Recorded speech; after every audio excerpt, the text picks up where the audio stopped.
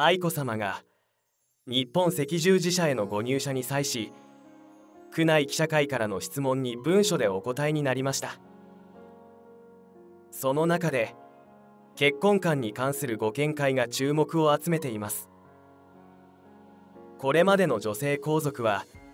結婚についてユーモアを交えたりはっきりとしたご自身の考えを述べたりすることでその人柄が伺えることが多かったのです。愛子さまは青年になられてから2年が経ちましたが結婚に対する意識は変わらず笑顔でいられる関係が理想だと考えています。両陛下から具体的なアドバイスは特にいただいておりませんが両陛下のように思いやりのある関係を素敵だと感じています。心を動かされる出会いがあったかというと大げさかもしれませんがこれまでの全ての出会いが私にとってかけがえのない宝物であり深く感謝しています。これからもさまざまな出会いを大切にしていきたいと思いますとお答えになりました。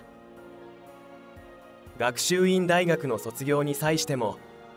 宮内記者会から結婚に関する質問が複数寄せられましたが回答されたのは1問のみでした。その後日赤への入社が決まり再び文書での回答が発表されました。これは以前保留にされていた質問への回答と思われます。愛子さまの回答は心からの誠意が感じられるものでした。特に両親という言葉の使い方が注目されました。公の場では天皇皇后両陛下と呼ばれるお二人を結婚観というプライベートな話題になると両親と呼ぶことで愛子さまらしい言葉遣いが見受けられました。愛子さまの文才とその言葉の端々から感じられる心の美しさに多くの人が感動しました。両親のようにお互いを思いやれる関係は素敵だと思いますという言葉には愛子さまの日々の思いが込められており出会い全般に対する心を豊かにしてくれたかけがえのない宝物という表現は愛子さまがこれまでの出会いに対して素直に感謝している姿勢を示しています。これはこれまでの女性皇族とは異なる捉え方であり愛子さまらしいと感じられるのです。細やかな配慮が行き届いた愛子さまの言葉とその誠実さが愛子さまらしさを際立たせています。両親が素晴らしいと胸を張って言うのはなかなか難しいことですよね。そう感じていても恥ずかしさからなかなか口に出せないものです。しかし年宮愛子さまがそうおっしゃったことは常にそのように感じていらっしゃるのでしょう。娘は父親にの人を選ぶとよく言われますが年宮愛子さまがお選びになるお相手も陛下のように優しく思いやりのある方ではないかと期待されています。アドバイスをいただいたことはという表現やこれまでの出会いが全て心を豊かにしかけがえのない宝物であり深く感謝していますという考え方は単なる美辞麗句ではなく心地よく聞くことができます。品格があり前向きで聡明なお言葉は真の皇族の方がお持ちのものだと改めて感じさせられます。愛子さまの心からの温かなお言葉にはいつも心を打たれます。その言葉には知性とユーモアが込められており聞く者に優しさとぬくもりを与えてくださいます。そんな愛子さまを両陛下が愛情を持って育てられたことに深く感謝しております。天皇家の皆様は常に互いを思いやり尊重し合う温かな家庭を築かれていると感じます。そのようなお心遣いが国民への深い配慮として現れていることに心から感謝申し上げます。愛子さまのご結婚については国民一同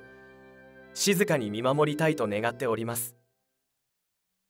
きっと愛子さまは国民が心から祝福できる素晴らしい方をお選びになると信じております。愛子さまが天皇陛下と皇后陛下を理想とされていることは私たちにとっても大変尊敬すべきことです。将来理想のパートナーと巡り合われることを心より願っております。愛子さまの紳士で清らかなお心が色濃く反映されております。その率直さが多くの人々にとって魅力的に映るのです。通常こうした個人的な問いに対しては適当に話をそらしたり回答を避けることが一般的ですが愛子さまは明るい笑顔で両親のような方が理想ですとおっしゃる姿勢がご両親への深い愛と尊敬の念を如実に表しています。愛子さまが理想とされるようなご両親に似たパートナーとのご結婚は間違いなく実現されると信じております。愛子さまの満面の笑顔は見る人々に幸福感をもたらします。きっとお望みの通り素晴らしい伴侶と出会い笑顔あふれる温かな家庭を築かれることでしょう。人間性の素晴らしさはもちろんのこと。結婚に対する考え方をお話になる様子も大変素晴らしいと感じております。幼い頃から天皇陛下と皇后陛下のお姿を拝見し身につけられた高貴な学びが年宮愛子内親王殿下の立ち振る舞いに自然と現れています。他の宮家の皇族とは一線を画し国民からの深い愛情を集めまた国民のそばに寄り添う皇室の伝統を体現されています。大学を卒業され嘱託職員としてお勤めに就かれたことも非常に立派なことです。多くの国民がもし可能であれば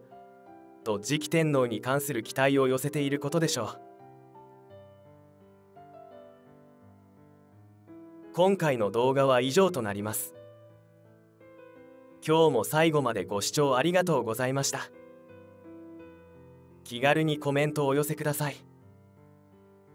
この動画に対していいねボタンで評価いただけると嬉しいです。